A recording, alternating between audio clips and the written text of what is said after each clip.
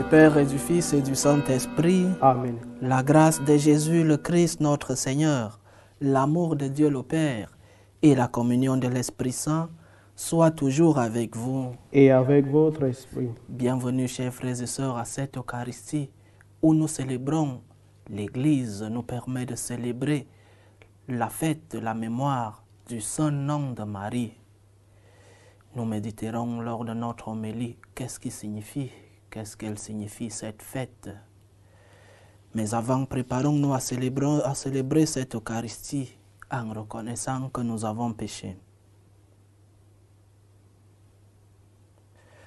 Je confesse à Dieu Tout-Puissant, je reconnais devant mes frères que j'ai péché en pensée, en parole, par action et par omission. Oui, j'ai vraiment péché. C'est pourquoi je supplie la Vierge Marie, les anges et tous les saints, et vous aussi, mes frères, de prier pour moi le Seigneur notre Dieu. Que Dieu Tout-Puissant nous fasse miséricorde, qu'il nous pardonne nos péchés et nous conduise à la vie éternelle. Amen. Seigneur, prends pitié. Seigneur, prends pitié. Ô Christ, prends pitié. Ô Christ, prends pitié. Seigneur, prends pitié. Seigneur, prends pitié. Prions le Seigneur. Nous t'en prions, Dieu Tout-Puissant, que la bienheureuse Vierge Marie obtienne les bienfaits de ta miséricorde en faveur de tous ceux qui célèbrent son nom glorieux. Par Jésus-Christ, ton Fils notre Seigneur, qui vit et règne avec toi dans l'unité du Saint-Esprit, Dieu pour les siècles des siècles. Amen. Amen.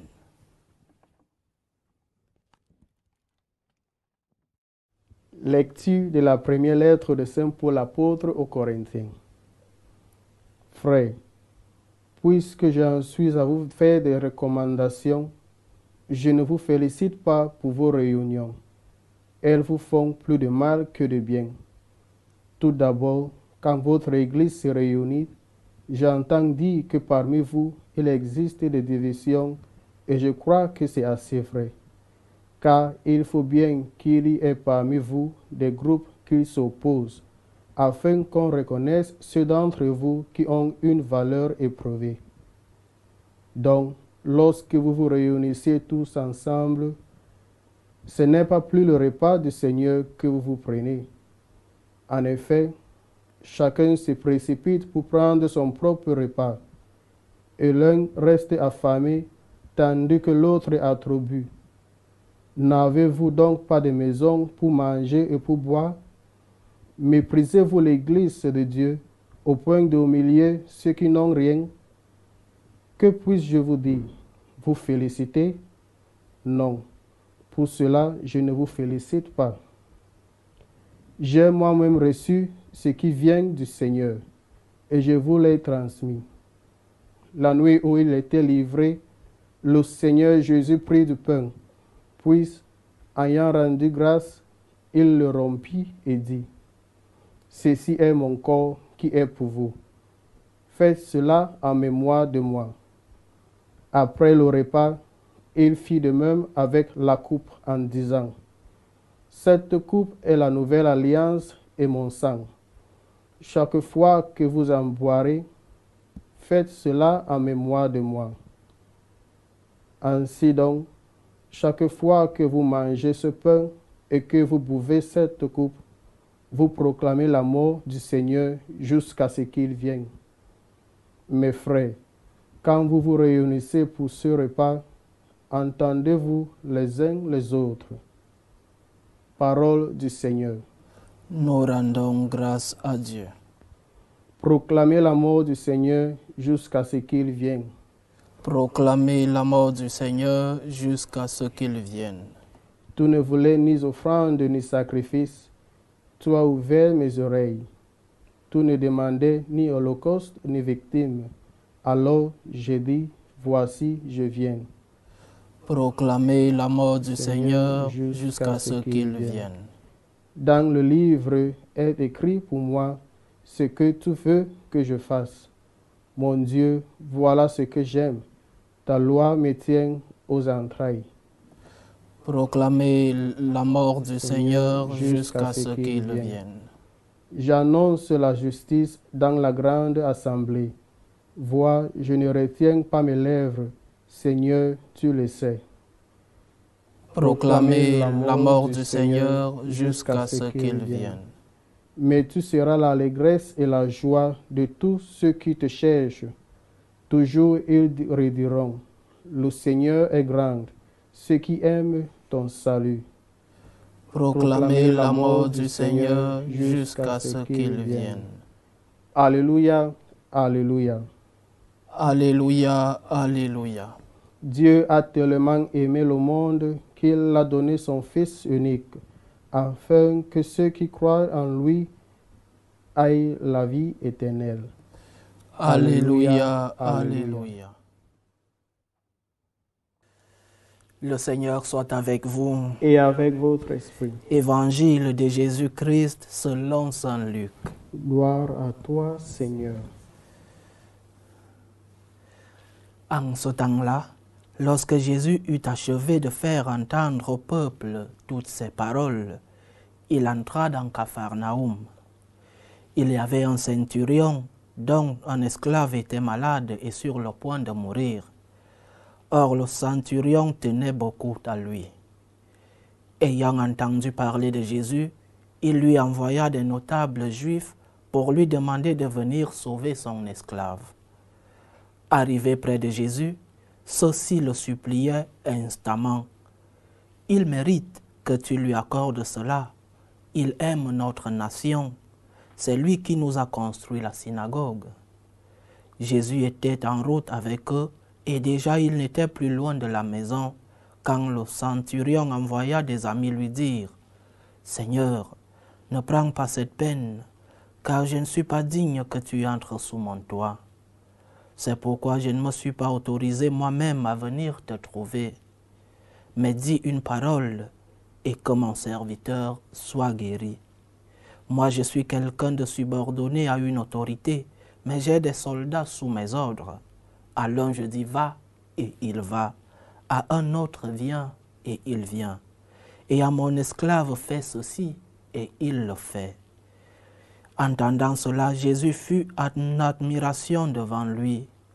Il se retourna et dit à la foule qui le suivait, Je vous le déclare, même en Israël, je n'ai pas trouvé une telle foi.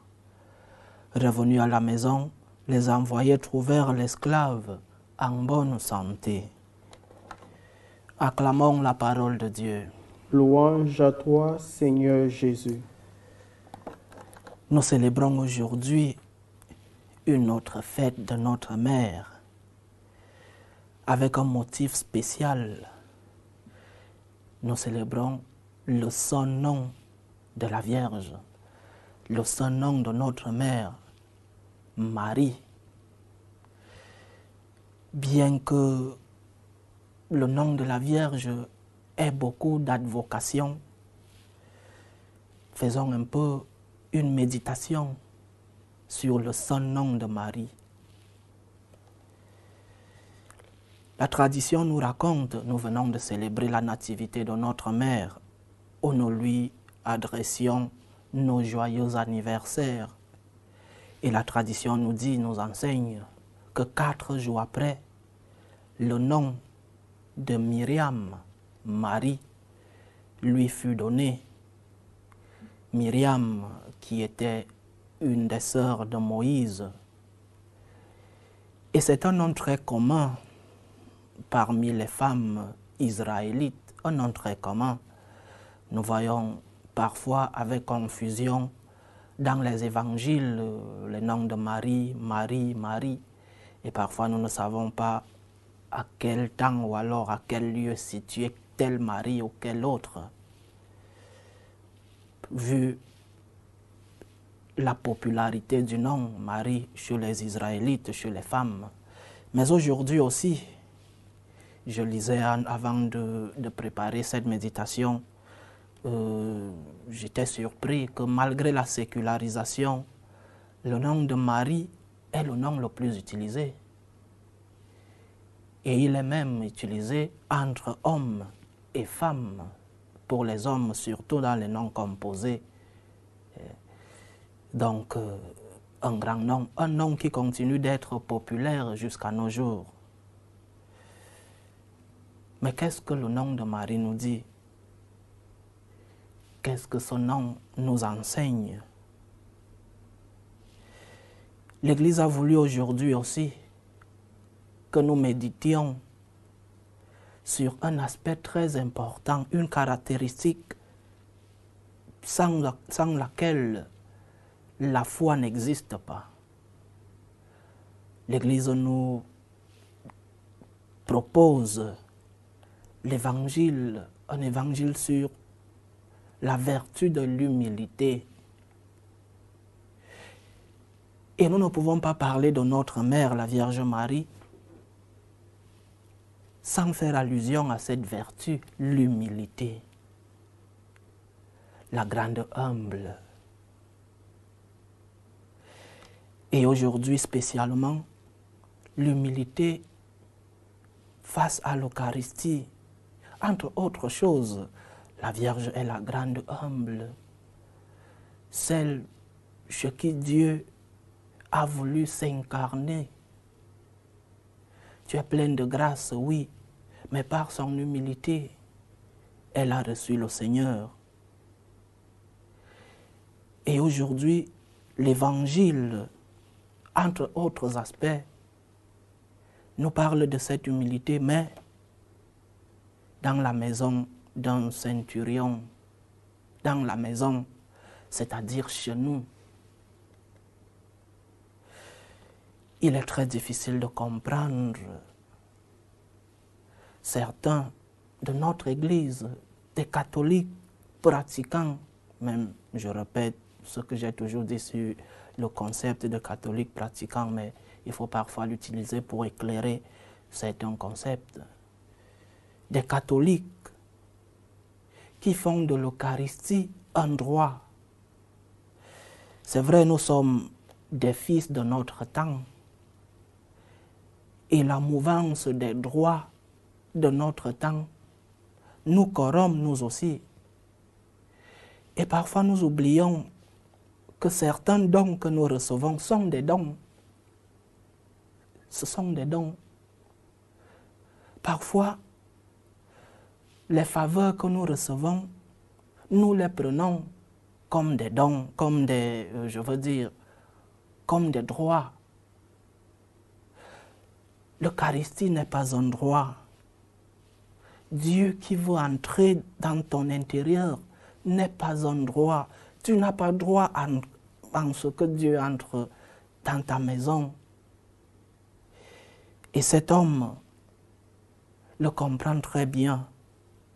Je ne suis pas digne de te recevoir, disons-nous, quand nous présentons l'Eucharistie. Je ne suis pas digne, Seigneur, de te recevoir. Eh oui, nous ne sommes pas dignes de recevoir le Seigneur. Parfois parce que nous ne sommes pas en état de grâce.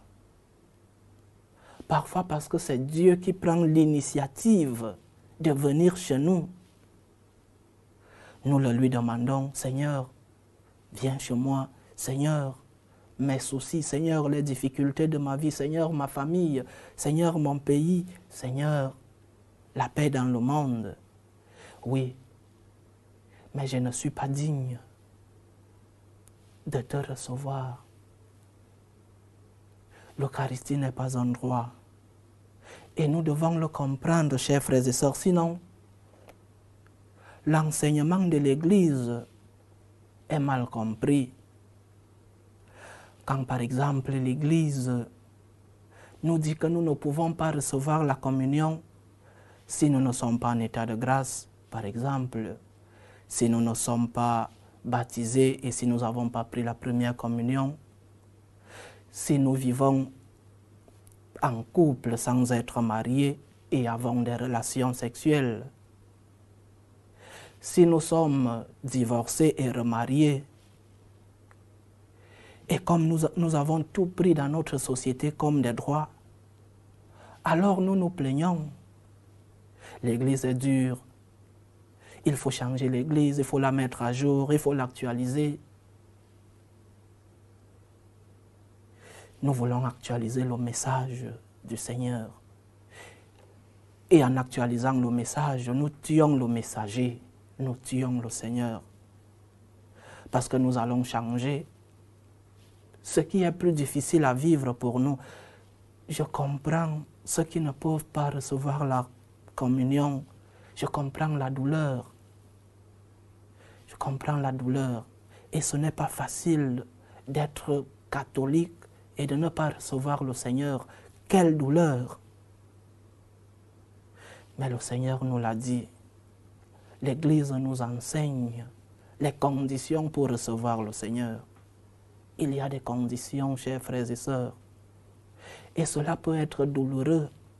Je connais beaucoup de gens qui vivent la foi catholique intensément, mais qui ne remplissent pas les conditions pour recevoir la communion et qui viennent à la messe avec cette douleur de ne pas pouvoir recevoir le Seigneur.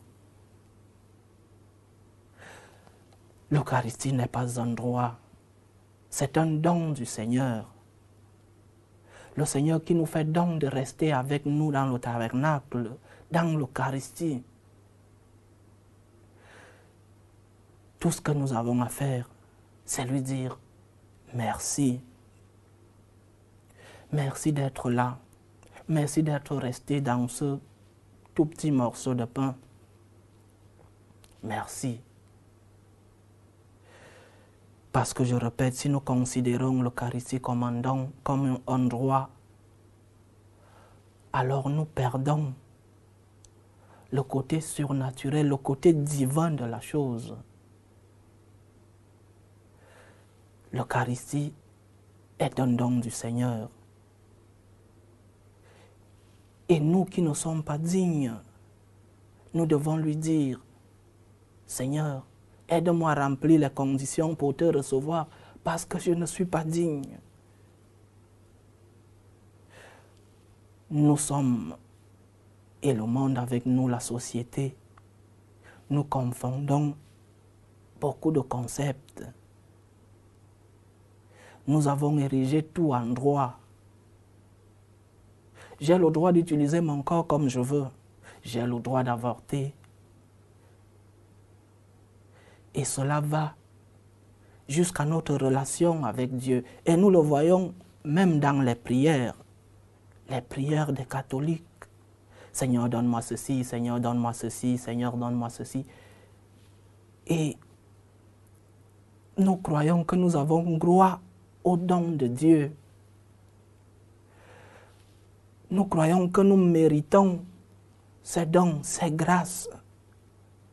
Et quand nous, ne les obtenons pas, nous nous plaignons.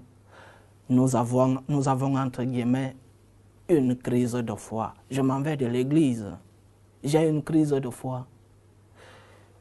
Chers frères et sœurs, notre relation avec Dieu doit être une relation de gratitude. Seigneur, merci. Merci d'être resté parmi nous. Et pour nous qui avons la grâce de recevoir l'Eucharistie, je ne suis pas digne de te recevoir. Merci Seigneur de me permettre de te recevoir. Prenons un exemple, notre mère, dans cette caractéristique de l'humilité dans cette caractéristique de notre foi, une des caractéristiques qui est l'humilité.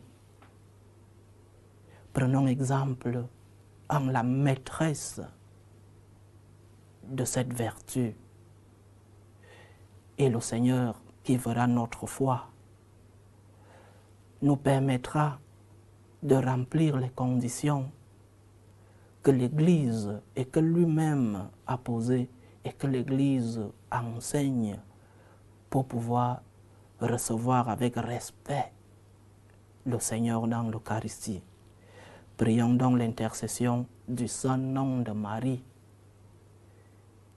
pour qu'elle nous aide à être humbles.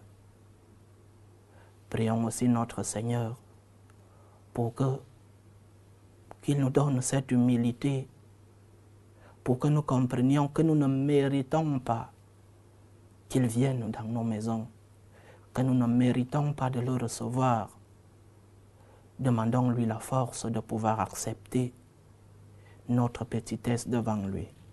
Loué soit Jésus-Christ. À jamais.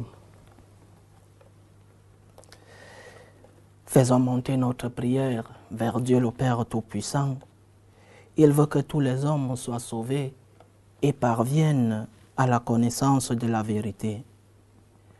Pour la Sainte Église de Dieu, prions le Seigneur de la garder sous sa protection. Prions le Seigneur. Seigneur, écoute et prends pitié. Pour tous les peuples de la terre, prions le Seigneur de maintenir entre eux la concorde et la paix. Prions le Seigneur. Seigneur, écoute et prends pitié. Pour ceux qui sont accablés par toutes sortes de détresse, prions pour les malades, pour les persécutés à cause de leur foi. Prions pour ceux qui nous demandent des prières, pour que le Seigneur leur offre à tous le réconfort. Prions le Seigneur. Seigneur, écoute et prends pitié. Demandons au Seigneur de nous rendre humbles, de pouvoir comprendre que nous ne méritons pas de le recevoir. Prions le Seigneur. Seigneur, écoute et prends pitié. Dieu, notre refuge et notre force, assiste ton Église qui te prie avec une ferveur dont tu es toi-même la source. Fais que nous obtenions réellement ce que nous te demandons dans la foi, par le Christ notre Seigneur. Amen. Amen.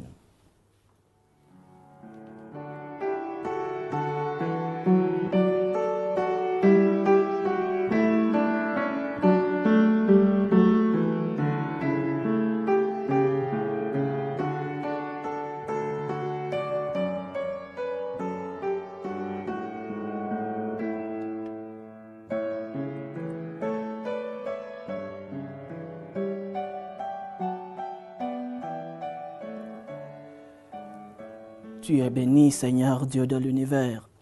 Nous avons reçu de ta bonté le pain que nous te présentons, fruit de la terre et du travail des hommes. Il deviendra pour nous le pain de la vie. Béni soit Dieu maintenant et toujours. Tu es béni, Seigneur Dieu de l'univers. Nous avons reçu de ta bonté le vin que nous te présentons, fruit de la vigne et du travail des hommes. Il deviendra pour nous le vin du royaume éternel. Béni soit Dieu maintenant et toujours.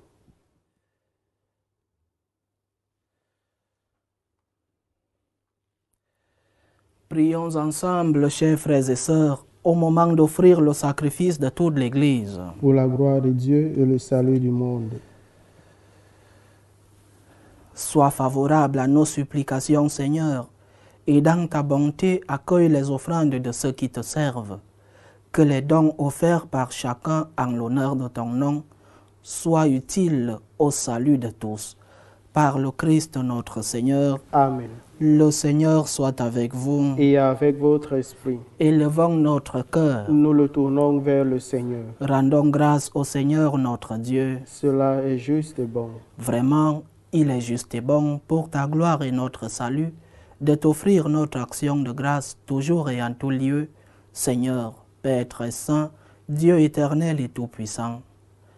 En ce jour où nous célébrons le saint nom de la Vierge Marie, nous voulons te chanter, te bénir et te glorifier, car elle a conçu ton Fils unique lorsque le Saint-Esprit l'a couvrit de son ombre et gardant pour toujours la gloire de sa virginité, elle a donné au monde la lumière éternelle, Jésus, le Christ, notre Seigneur. Par lui les anges célèbrent ta grandeur, et les esprits bienheureux adorent ta gloire. Par lui s'inclinent devant toi la puissance d'en haut, et tressaillent d'une même allégresse les innombrables créatures des cieux. À leur hymne de louange, fais-nous joindre nos voix pour chanter et proclamer Saint, Saint, Saint, le Seigneur Dieu de l'univers. Le ciel et la terre sont remplis de ta gloire. Hosanna au plus haut des cieux. Béni soit celui qui vient au nom du Seigneur. Hosanna au plus haut des cieux. Toi qui es vraiment saint, toi qui es la source de toute sainteté, Seigneur, nous te prions. Sanctifie ces offrandes en répandant sur elles ton esprit, qu'elles deviennent pour nous le corps et le sang de Jésus le Christ, notre Seigneur. Au moment d'être livré et d'entrer librement dans sa passion, il prit le pain. Il rendit grâce, il le rompit et le donna à ses disciples en disant, Prenez et mangez-en tous, ceci est mon corps livré pour vous.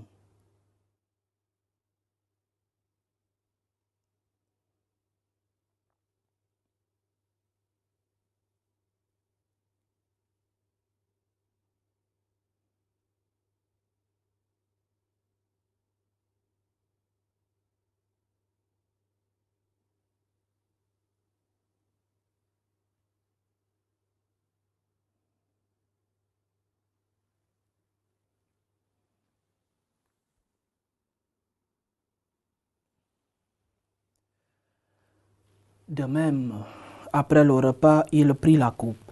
De nouveau, il rendit grâce et la donna à ses disciples en disant, Prenez et buvez-en tous, car ceci est la coupe de mon sang, le sang de l'alliance nouvelle et éternelle, qui sera versé pour vous et pour la multitude en rémission des péchés. Vous ferez cela en mémoire de moi.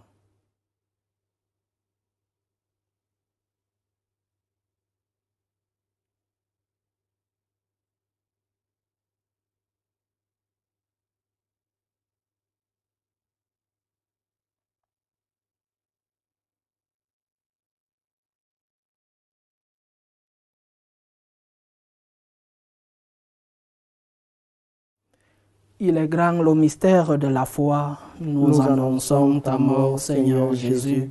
Nous proclamons ta résurrection. Nous attendons ta venue dans la gloire. En faisant ainsi mémoire de la mort et de la résurrection de ton Fils, nous t'offrons, Seigneur, le pain de la vie et la coupe du salut. Et nous te rendons grâce, car tu nous as estimés dignes de nous tenir devant toi pour te servir. Humblement, nous te demandons qu'en ayant part au corps et au sang du Christ, nous soyons rassemblés par l'Esprit Saint en un seul corps.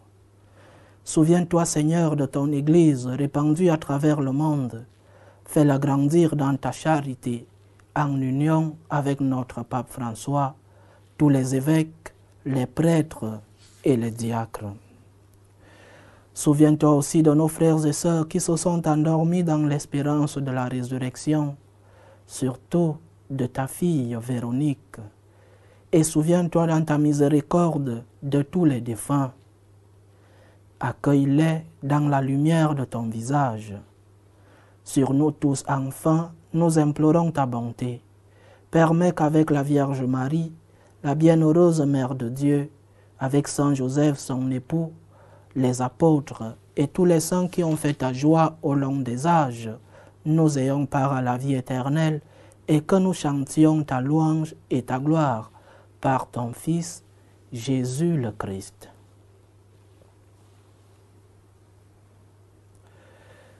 Par lui, avec lui et en lui, à toi Dieu le Père Tout-Puissant, dans l'unité du Saint-Esprit, tout honneur et toute gloire pour les siècles des siècles. Amen. Comme nous l'avons appris du Sauveur, et selon son commandement, nous osons dire, Notre Père, qui es aux cieux, que ton nom soit sanctifié, que ton règne vienne, que ta volonté soit faite sur la terre comme au ciel. Donne-nous aujourd'hui notre pain de ce jour. Pardonne-nous nos offenses, comme nous pardonnons aussi à ceux qui nous ont offensés. Et ne nous laisse pas entrer en tentation, mais délivre-nous du mal. Délivre-nous de tout mal, Seigneur, et donne la paix à notre temps. Soutenus par ta miséricorde, nous serons libérés de tout péché, à l'abri de toute épreuve. Nous qui attendons que se réalise cette bienheureuse espérance, l'avènement de Jésus-Christ, notre Sauveur.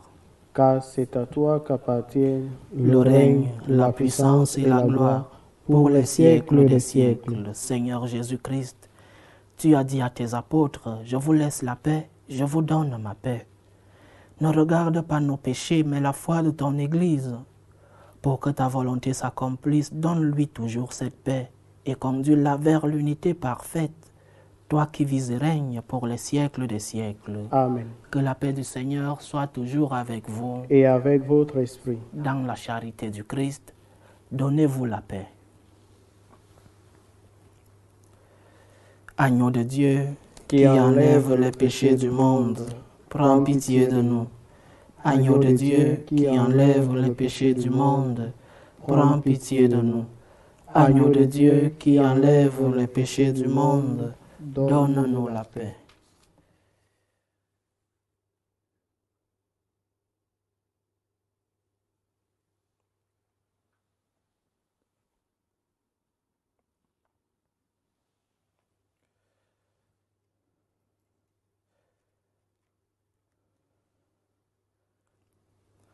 Heureux les invités au repas du Seigneur.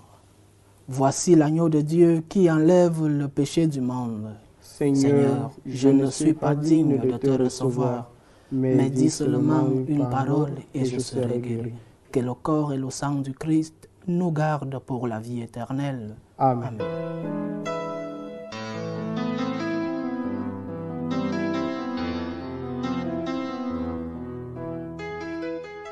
Communion spirituelle. Mon Jésus, je crois en votre présence dans le très saint sacrement. Je vous aime plus que toute chose et je désire que vous veniez dans mon âme. Je ne puis maintenant vous recevoir sacramentellement dans mon cœur. Venez-y au moins spirituellement.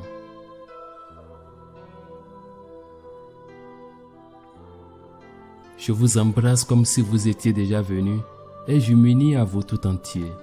Ne permettez pas que j'aie jamais le malheur de me séparer de vous. Amen.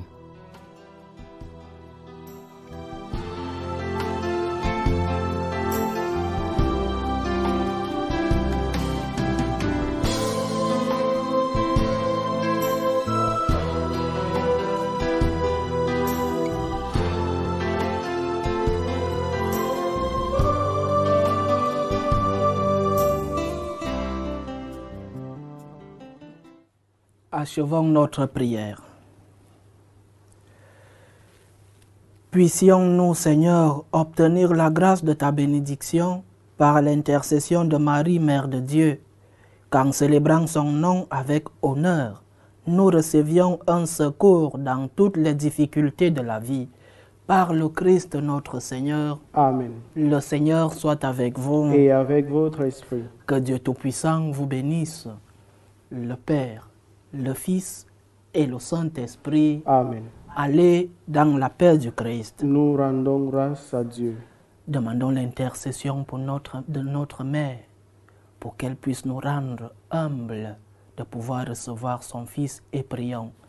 Je vous salue Marie, pleine de grâce. Le Seigneur est avec vous. Vous êtes bénie entre toutes les femmes, et Jésus, le fruit de vos entrailles, est béni. Sainte Marie, Mère de Dieu, priez pour nous pauvres pécheurs, maintenant et à l'heure de notre mort. Amen.